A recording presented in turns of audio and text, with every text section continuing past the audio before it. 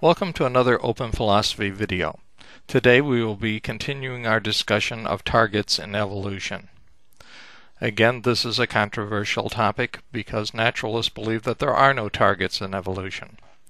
They would have us believe that because we can fully understand the mechanisms involved, that we have no need for teleology or ends or purposes in evolution.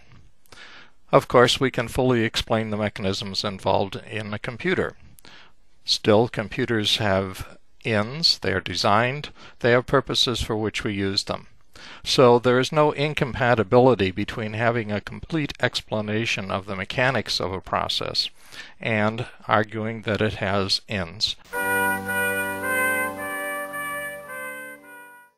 We prepared for our discussion of evolution by looking into the nature of randomness, and found that it is not an objective property of reality, but a measure of human ignorance. Turning to evolution, we found that the sequence of genes in organisms is extremely improbable. So improbable that it's like a tornado going through a junkyard and building a 747. In order to overcome this improbability, Richard Dawkins developed a computer model to show that random processes could achieve useful results in a relatively short amount of time. But Dawkins could only do this by giving his program a predefined target. Thus, improbability is overcome by pre-programming, by built-in targets. We've been pursuing that idea, the idea of built-in targets, and in the last video we found that it was confirmed by convergent evolution, so that lines of evolution coming from different genetic stock converge to the same form in order to fit the same niche.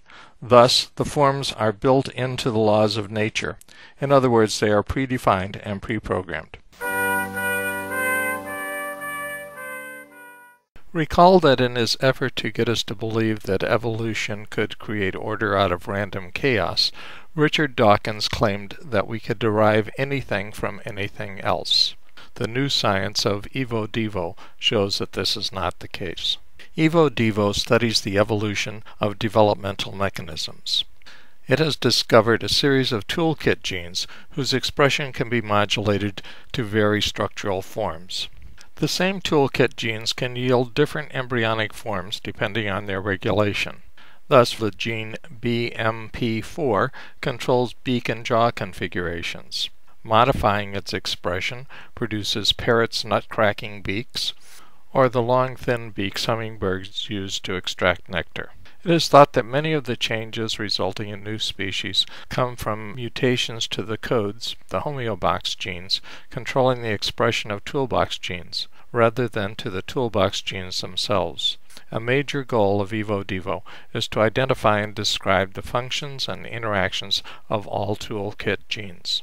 Contrary to Dawkins' claim that we can derive anything from anything else, evolution is far less random. Given that 40 independent evolutionary paths with 8 different optical plans all yielded visions, and Dawkins' thesis, we would expect that any mutation might eventually produce vision. In fact, one toolkit gene, PAX6, controls vision in organisms as diverse as vertebrates, mollusks, and fruit flies. Is convergence on the goal of vision explained by sharing PAX6 genes? Mechanistically, it is but explaining how goals are attained does not refute their reality, or explain why PAX6, BMP4, and similar toolkit genes are in the shared genome. They are not random, because once they are established in the genome, they remain stable for hundreds of millions of years.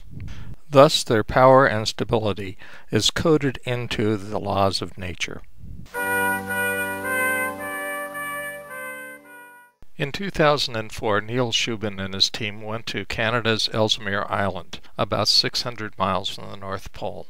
Shubin knew that that was one of the few places on Earth where beds of rock 350 million years old were exposed. He was fossil hunting, and his efforts were rewarded by a truly remarkable find.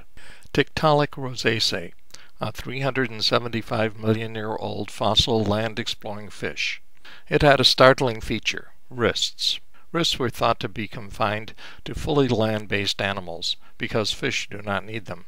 Shubin explains, This was telling us that a piece of the toolkit to make arms, legs, hands, and feet could very well be present in fish limbs. Lacking were the environmental conditions where these structures would be useful. The presence of this toolkit gene was later supported by genetic studies of a living relative of Tiktaalik, the paddlefish Polyodon spathula. Without the conditions making these structures useful, there is no evolutionary pressure to develop a gene to form them. Thus, the capacity to form limbs needed for land survival evolved before the need for them, and without specific selection pressure for the unexpressed potential Evolution is a forward-looking process. Preparing means in advance of ends is a strong indicator of intentionality.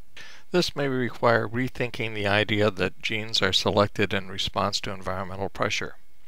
It now appears that specific capabilities, such as the ability to develop vision, wrists, or specific jaw and beak forms, are latent in the genetic toolkit, but unexpressed until needed. In other words, genes seem to develop adaptive flexibility before the environmental pressure to express the available alternatives. This is evidence of a forward-looking dynamic expressing intentionality. One surprising result of EvoDevo is that toolkit genes themselves are evolutionary targets. Once evolved, the coding sequences of toolkit genes are conserved so that nearly identical toolkit genes are found in different phyla.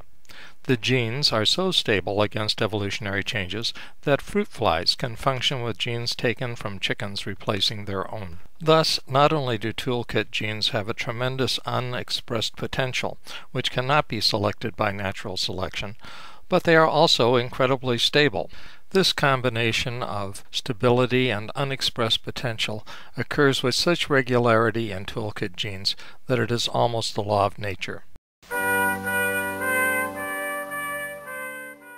In our next video, we will be considering punctuated evolution as further evidence for the existence of targets in the evolutionary process.